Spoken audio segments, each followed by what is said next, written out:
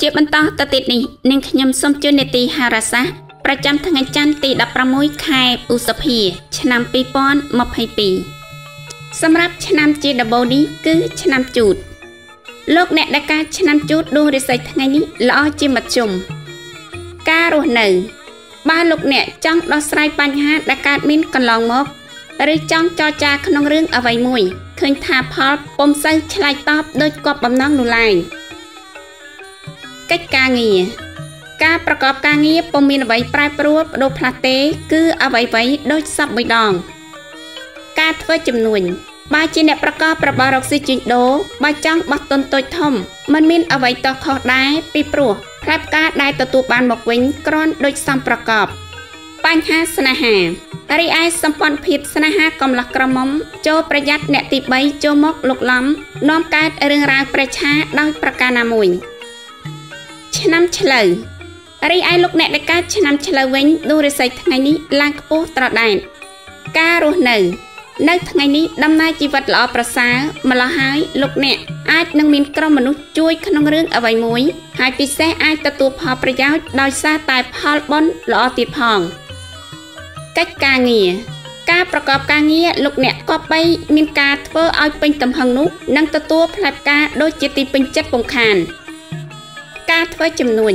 ការធ្វើចំនួនបានប្រែប្រួលមកល្អប្រសើរបន្តិចវិញហើយបើចង់សាកល្បងមុខរបរថ្មីថ្មីក៏ជាពេលវេលាល្អមួយហើយ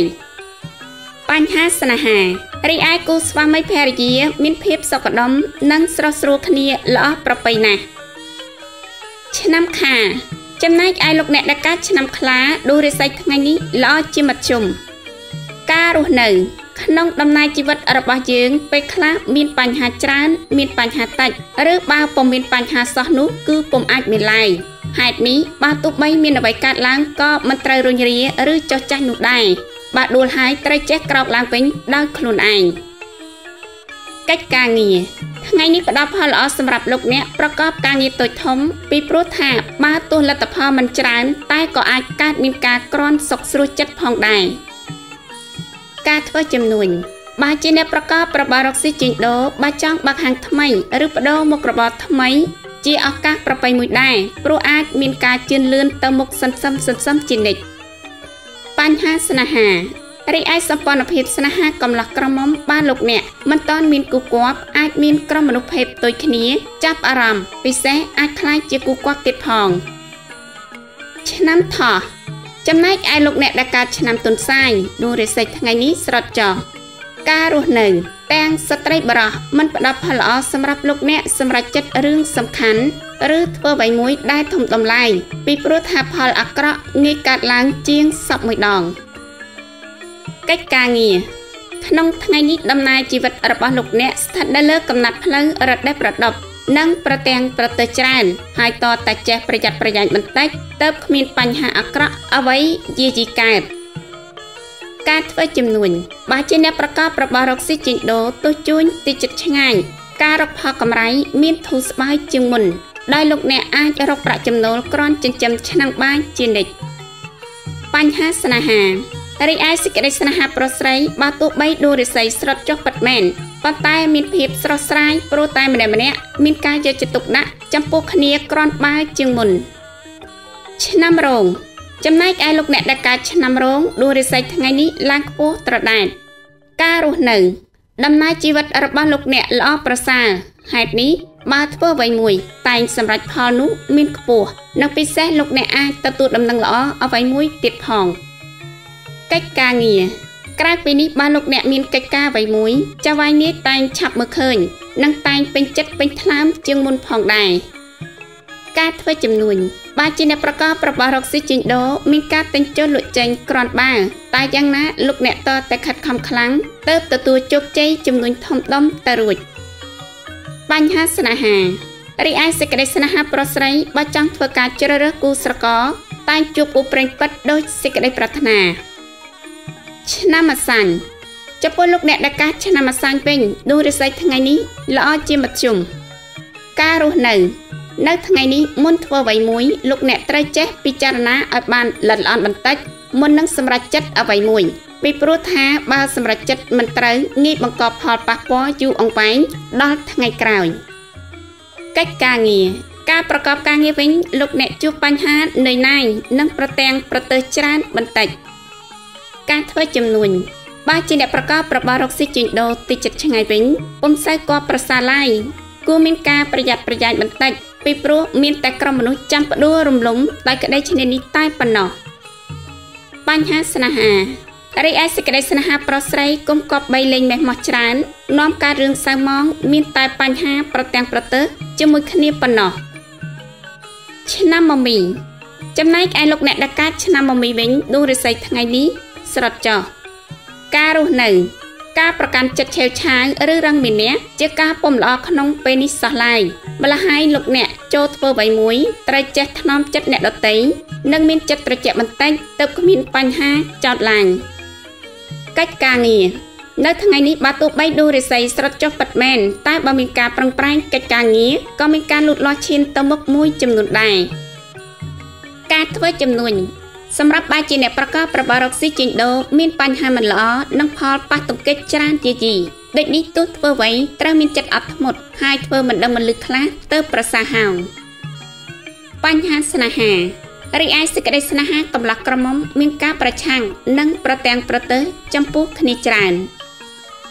ឆ្នាំមមែចំណែកឯលោកអ្នកដែលកើតឆ្នាំមមែវិញដួរិស័យថ្ងៃនេះស្រត់ចោះការរស់នៅ នៅថ្ងៃនេះបើលោកអ្នកចង់ខ្ចីឬពឹងពាក់នរណាម្នាក់តែងមិនឆ្លើយតបដោយបំណងឡើយពិសេសមានតែគេមាក់ងាយបន្ថែមទៀតកិច្ចការងារទាំងស្ត្រីបរោះទោះប្រកបការងារអ្វីក៏ដោយចូលចេះអត់ធ្មត់និងរងាប់ចិត្តឲ្យបានត្រជាក់ទើបអាចទប់ទល់ជាមួយបញ្ហាឧបទ្រពយាយីទៅរួចការធ្វើជំនួញសម្រាប់បាយជាអ្នកប្រកបរបររកស៊ីជីដូលោកអ្នកចូលចេះមានចិត្តត្រង់ទៅត្រង់មក មិនត្រូវមើលឃើញតែផលប្រយោជន៍នោះដែរបញ្ហាស្នេហារីឯសម្ព័ន្ធភាពស្នេហាកំឡោះក្រមុំឬពោះម៉ាញមានម៉ាច់ក្តីក៏បីមានការប្រយ័ត្នប្រយែងគុំបង្កតែទំនាស់ចំពោះគ្នានាំឲ្យកើតតែចំនួនវិវាទរកភាពផ្អែមល្ហែមពុំសូវឃើញឆ្នាំពកចំណែកឯលោកអ្នកដែលកើតឆ្នាំពកវិញដួងរិស័យថ្ងៃនេះឡើងខ្ពស់ត្រដែតការរស់នៅ នៅថ្ងៃនេះគឺផ្ដល់ផលល្អសម្រាប់លោកអ្នកចាប់ផ្ដើមប្រកបការងារអ្វីមួយពីព្រោះថាផលតែងឆ្លើយតបមកវិញនាពេលក្រោយក្រនកក់ក្ដៅកិច្ចការងារការប្រកបការងារបើលោកអ្នកទៅកាន់ទីកន្លែងណាក៏ដោយមានតែក្រុមមនុស្សស្វាគមន៍រាក់ទាក់និងអាណិតស្រឡាញ់ជានិច្ចការធ្វើចំនួនបើជាអ្នកប្រកបរបស់រកស៊ីចេញដូរមិនថាទីចិត្តឆ្ងាញ់តែងហុចផ្លែផ្កានិងប្រមូលផលចំណេញ វើត្រឡប់ចូលផ្ទះវិញគួរជាទីកក់ក្ដៅបញ្ហាស្នេហារីឯសម្ព័ន្ធភាពស្នេហាកំឡោះក្រមុំ មានភាពផ្អែមល្ហែម និងស្រស់ស្រាយប្រពៃឆ្នាំរកាចំពោះលោកអ្នកដែលកើតឆ្នាំមន់វិញដួងរិស័យថ្ងៃនេះស្រត់ចុះការរស់នៅ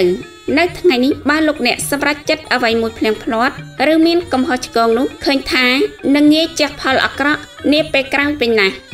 កិច្ចការងារ ការប្រកបការងារលោកអ្នកធ្វើអ្វីក៏បីមានការប្រយ័ត្នប្រយែងពីព្រោះថាបើសម្រេចចិត្តអ្វីមួយខុសនោះនាំបាត់បង់ប្រកាសនិងពិសេសនាំខូចចិត្តថែមទៀតការធ្វើចំនួនចំពោះបើជាអ្នកប្រកបរបស់រកស៊ីចេញដូរមានដំណើរការទៅមុខយ៉ាប់យ៉ឺនបន្តិចហើយបញ្ហាចំនួនក៏ភ័យស្រួយកើតឡើងណាស់បញ្ហាស្នេហារីឯសេចក្តីស្នេហាកំឡោះក្រមុំមានការជឿនលឿនទៅមុខតិចតួច ឯបើថយក្រោយវិញនោះឆាប់រហ័សណាស់គប្បីមានការប្រយ័ត្នប្រយែងឆ្នាំចចំណែកឯលោកអ្នកដែលកើតឆ្នាំចវិញនោះរិស័យថ្ងៃនេះល្អជាមធ្យមការរស់នៅការរស់នៅលោកអ្នកមិនត្រូវធ្វេសប្រហែសទៅលើបញ្ហាសុខភាព និងបញ្ហារបស់របរពីព្រោះងាយកើតបញ្ហាមិនល្អកើតឡើងជាងសពមួយដងកិច្ចការងារ ការប្រកបការងារមានភាពជឿនលឿនទៅមុខតិចតួច តែការថយក្រោយនោះមានច្រើនក៏បីមានការប្រយ័ត្នប្រយែងការធ្វើចំនួនសម្រាប់បាយជាអ្នកប្រកបរបររកស៊ីជីដូបើទោះបីលោកអ្នកជួញទីចិត្តឆ្ងាញ់មិនថាផ្លូវគោកផ្លូវទឹកឬផ្លូវអាកាសក្តីតែងហុចភោគផលក្រាន់ជាទីកក់ក្ដៅតែយ៉ាងណាមិនគប្បីយកខ្លួនបៀតលបែងស៊ីសងឡាយព្រោះនាំកើតឧបទ្រពចង្រៃការលក់ដូរមិនជឿនលឿនទៅមុខបញ្ហាស្នេហា រីឯសេចក្តីស្នេហាកំឡោះក្រមុំមានការរកាំចិត្តនិងរឿងរ៉ាវរត់ចូលច្រើនដូចនេះឲ្យប្រយ័ត្នបញ្ហាចំនួនវិវាទឆ្នាំចុងក្រោយនេះគឺឆ្នាំកុលចំពោះលោកអ្នកដែលកើតឆ្នាំកុលដួសរិស័យថ្ងៃនេះល្អជាមធ្យមការរស់នៅនាពេលនេះលោកអ្នកត្រូវចេះគ្រប់គ្រងចំណូលចំណាយឲ្យបានល្អិតល្អន់បន្តិចបើពុំនោះទេដោយសារចំណូលទាបការចំណាយខ្ពស់និងនាំនៅវិបត្តិថវិកាគ្រួសារពំខាន កិច្ចការងារការប្រកបការងារវិញដំណើរជីវិតរបស់លោកអ្នកស្ថិតនៅលើកំណត់ផ្លូវរត់ដេះប្រដប់ហើយពិសេសឲ្យប្រយ័ត្នក្រុមមនុស្សតាមចាប់កំហុសដោយប្រការណាមួយការធ្វើចំនួន